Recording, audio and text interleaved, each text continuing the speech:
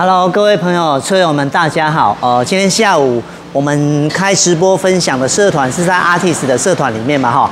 那今天要介绍安装的车款，上次我也忘记是不是在这里开。呃，上次 Artist 的话，十二代是在在高雄的呃人武的永义轮胎吧？哦，不对不对，是三明店，是三明店的永义轮胎哈。那我们有在那边一样开的车种也是一样哈，但是。呃，KT 的产品哈，就好像是手机，大家在使用的手机一样哈，会不断不断的进化，所以有不同的一直进化的版本。那今天不同的版本呢，是在于它前面的弹簧，哎，我们又做了一个更舒适的设定。那后方的调整机构呢，也稍微有做了一下修正哈。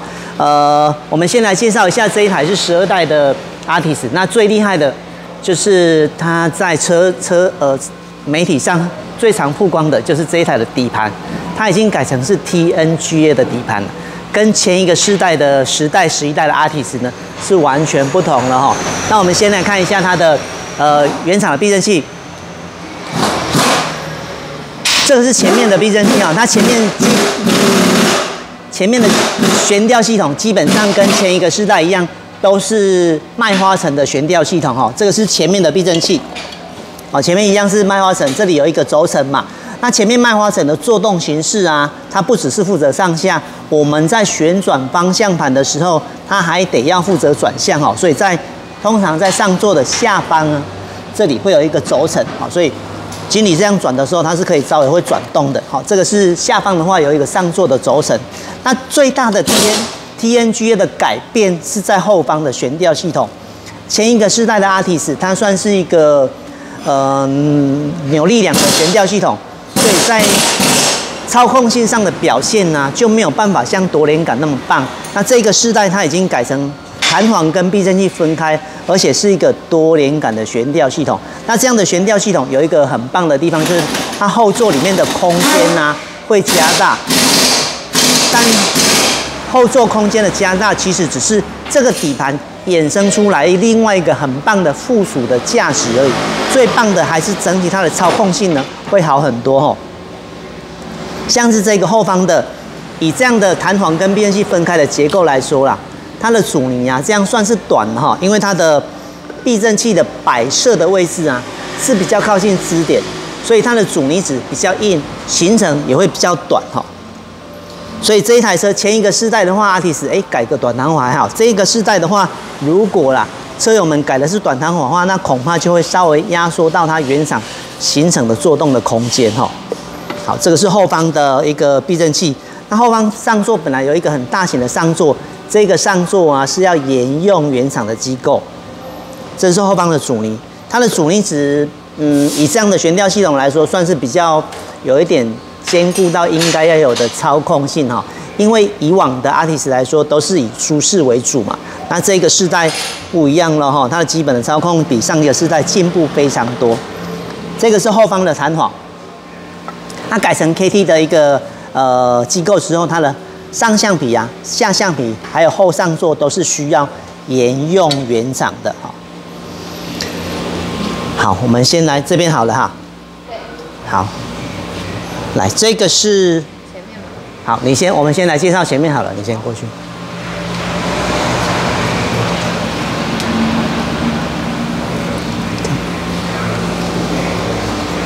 来，我们先来介绍前面了哈。前面的话，它的呃上座哈，这个是这个是在它本来上座的话有一个室盖嘛。那室盖的话，下方这里有避震器的上面三颗螺丝，啊，这三颗螺丝的话是在固定上座的。改 KT 有一个很棒的地方，就是它的上座啊是可以不用沿用原厂，不需要再拆原厂来沿用，直接就有附一个新品了。那这个是在因为上部的话，TNGA 的。呃，从最早的 CHR 啦，还有 Camry 八代啦，RAV4 啦哈，啊 RAV4 没有，RAV4 的话是裸露的，所以这些比较中小型的车车型啊，它的上面这个饰板呢都是盖住的。那如果要变成要调整阻尼的时候，呃，会建议啦，在安装的时候呢，是这里钻了一个小孔，就有办法直接做调整哈。那车友的话是经理好朋友，所以他也有。呃，本来就有装了一个三米的所有的套件哈，前面的引擎式拉杆啦，这里的强化拉杆，还有下方的结构杆哈，都已经有做一个强化哈。好，然后前面的话，刚刚介绍的部分呢，条弹簧啊，它本来哈，以前的话我们是用一个直卷式的弹簧，那后来的话有做一个改版，就是让它前面的舒适度会更好。像这样的直卷弹簧跟灯笼状的弹簧，它有一个比较大的差异性，就是我们在遇到坑洞的压缩跟回弹的时候，直卷弹簧它的回馈会比较直接。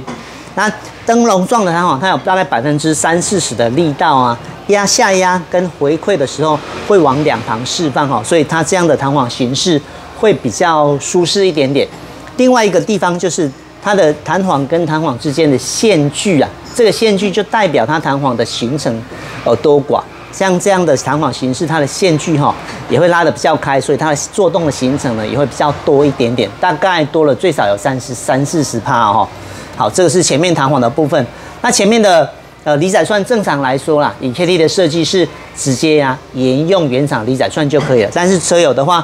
本来就已经有改装了，呃，这个也是三米的的可调式的离载强化的离载串哈，所以这个离载串的话，我们就直接沿用车友本来就改好的，但一般来说，K D 是不用再多改这个离载串的部分了，哦，直接沿用原厂就可以。这里的话，这样呃，这一个四代的下方的油管架了哈，还有 A B S 感应线之类的，这些都是沿用原厂的固定位置就可以了。前面的车高调整比较算是比较简单吧，哈。如果我们把它整体的长度把它拉长，它的车高啊就会变高。如果这个把它整体缩长度缩短的话，它的车高就会变低。所以它调高跟调低不会因为去压缩弹簧而让它的乘坐感觉得不好，哈。所以它的调高跟调低的乘坐感觉是一样的，哈。所以这个是前面的部分。那 KT 的用料，哈，我们其实经常在。经常在那个在粉丝团里面有跟大家分享，那只有呃安装在阿迪斯的时候才会在阿迪斯的社团里面跟大家分享。不好意思，我们背景声音还持续在施工当中，所以会比较吵。所以呃像这样的 KT 的用料哈，之前如果有看过经理介绍的一个安装直播分享，就可以了解到 KT 的话用料一路以来始终如一哈，像是前面的。这个呃避震器里面所填充的阻尼油啊，是使用意大利一整桶两百立特哈进口的一个 IP 的阻尼油。这个 IP 的阻尼油，呃，如果要缩水的话，它算是还蛮厉害的。譬如说，意大利哦有一个重重型汽车的品牌叫阿普利亚，阿普利亚它的前叉指定用油跟后避震器后悬吊的指定用油，就是使用意大利 IP 的阻尼油。它的油品的话，的确啦。比这些混装的油品或者是不知名的品牌的一个主尼油会贵很多，但是它的耐久度跟抗衰退性哦都表现的都相当的不错，所以我们一直以来都还是使用意大利 IP 的主尼油哈。那在呃里面攸关到避震器寿命的油封部分哈哇这个就厉害了哈，像是阿提斯的话，有很多车友推崇的是日本 Tin 的品牌吧哈。日本 Tin 的话，它所使用的油封呢，就是使用日本最棒的 NOK 的油封。那 NOK 的话，也许有可能车友们不是在工业界里面哈，不知道这个品牌的厉害啊。那可以啦哈，可以在 Google 里面呢搜寻一下 NOK，然后 Orin 或者是 NOK 油封哦，就可以了解到这个品牌厉害的地方在哪里。它的产品的一个油封的耐久度啊，都相当的不错哦。所以 KT 一直以来都是使用这个很棒的零件。那 KT 的话，其实还有一个厉害的地方啦，是 KT 啊，我们不是一个轮胎行或者是一个改装店哈，因为我们这里在这里做直播的用意啊，最主要是要分享 KT 的产品给大家哈。其实我们这里最主要是制造而已。那贩售的话，车友们可以在台湾哈，从基隆到呃高雄、屏东都有我们配合的店家，甚至是宜兰。宜兰是在哎，好像宜兰还头城嘛哈，哦，宜兰宜兰宜兰也有，花莲也有，花莲的话是在吉安吧，台东也都有店家可以给车跟车友们来做安装的服务哈，所以 KT 本身呢就是一个制造制造的工厂，那制造工厂有什么样的优势？就是刚刚说提到的所提到的 IP 的阻尼油啊，NOK 的油封这些东西啊，即便那么高档哎，但是有可能。使用了一段时间之后啊，它有可能要做要做汰换呐，所以 IP 的这些零件呢，都是可以日后久了哈，KT 的工厂都是可以来做维修的哦哈。云林有吗？云林哦，哎，云林也有哦。云林虎尾哈，虎尾经经理的话，对虎尾比较了解。呃，虎尾的话有一间嘉兴底盘，嘉是呃一个人字旁在两个土嘛哈，嘉兴是复兴的兴，嘉兴底盘那里的呃也有办法询问到 KT 的产品的哈，而且那里的话是一个比较专业的一个安装跟底盘定位店。云顶哎，对啊，西罗也有啊哈，所以如果有需要啦。有需要询问各地安装的据点啦，或者是价钱啦，或者是想要试乘的话，都欢迎跟我们联络哈，我们都有办法帮大家先做服务。因为变器的选择，你问经理或者是问 KT 的人员一定不准啊，我们一定会老王卖瓜说 KT 的产品多棒，但是避震器的选择，经理会建议大家多多试乘。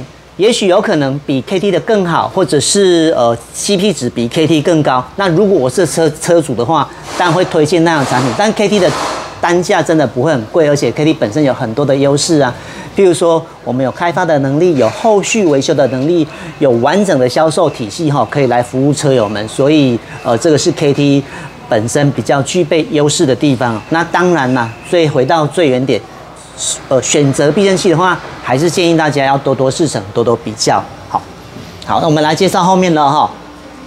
后方的话，它的本来哈，车友们就一样有装了一些拉杆哈。这个是经理好朋友的车啦。好，它本来就有装一些拉杆。那这个是带 TNG 的底盘呐。如果认真要来说，它后方的防倾感哇，就呃跟其他的车系呢，就差异的非常大哈。像它原厂的后方防倾杆啊，就已经非常粗了哈，所以它本来的一个原厂的操控，就比前一个世代的阿提斯会要来得好太多太多了。那今天的呃车友们的要求的车高啊，原厂是大概四指幅啦，那预计哈降到大概两指半左右。好啊，后后方的话有一个调整机构，好，这个调整机构是在调整后方的阻尼呀，是在调整软硬度的。好，从这个地方有一个旋钮。从这个地方，我用手指头搓，它就会动了哈。往顺时针的话，它就变硬；往逆时针，哎，它就变软。所以一共有三十段的阻尼可以来做调整，可以调整到车友们想要的软硬度。那调整的秘诀，调整阻尼的软硬只有两个秘技而已。第一个，轮胎的胎压，好，像这个轮胎的胎压，它的胎压一定要先打到原厂的建议值。像日系车的话，在驾驶座的门打开哦，在 B 柱的下方就有原厂的胎压建议值哈。像这个胎压的话，原厂冷胎压大概都三十二、三三 PSI 左右就可以了。那把胎压设定正确之后，再来调整软硬度。那调整软硬度的还是有第二个秘技，就是左边跟右边呢一定要对称哈。前后的话可以不用一致没有关系，但左右一定要一致哦。好，这个是后方的避震器，后方的车高调整呐，不是跟前面不同喽，不是靠这个筒针的长短来调整。好，它车高的调整不是调这里，车高的调整是靠弹簧下方的调整机构，这里有一个调整机构，好，是靠这个调整机构的长短来改变车高。这里遮住了，这个角度比较清楚。好，这个这里有一个调整机构，在下方这里哦，这这个，嗯，好，所以可以从这个地方。来调整车高，那筒身它其实是也是可以调整长短了，调整长短不会改变车高。这个的筒身长短，它只是来取决于后方弹簧的预载。像这一条弹簧，我们打的长度，呃，自由长度是两百三十 mm，就是二十三公分。所以这个弹簧啊，千万安装，把我们现在轮胎拆掉了嘛。现在尺一量呢，绝对啊不能预压缩过多。它预压缩过多超过五 mm 哈。它的就就会整体的调整起来就会不好做不协调，所以后方的安装是有特殊的技巧，一定要特别小心的哈。好，那调整完毕之后，再把这个这个托盘锁紧，基本上了后方的安装就完成了。可是这台车后方毕竟它是一个多连杆的结构，所以。如果车高要降低的幅度比较多的话，像它原厂的一个车高大概是四指幅，可是如果要降低大概到呃三两指半甚至是两指以下，更低的话，它的后轮的角度，后轮的 camber 角度，这就是后轮嘛哈，后轮这个角度啊，就会变得比较趴，所以变得比较趴的时候，就有可能会吃轮胎的内侧嘛，轮胎内侧就会异常磨得比较快，所以建议车友们如果要降低的话呢，就建议这一台车要多改装后方的仰角调整器，哈，这个是呃后方多连杆悬吊一般来说都会遇到的一个状况，哈，尤其是 Focus。还有 Focus 的话，就是一代、二代、三代嘛，四代的话已经有 Lomo，也已经改成多连杆的版本了哈，多了一个选择。好，这些车种还有哦，Civic 八代、九代这些车种的后方悬吊啊，如果有要降低车高的话，经理都建议大家一定要多改装这个仰角调整器哦，对轮胎的磨耗会比较呃均匀一些。OK，以上是今天的。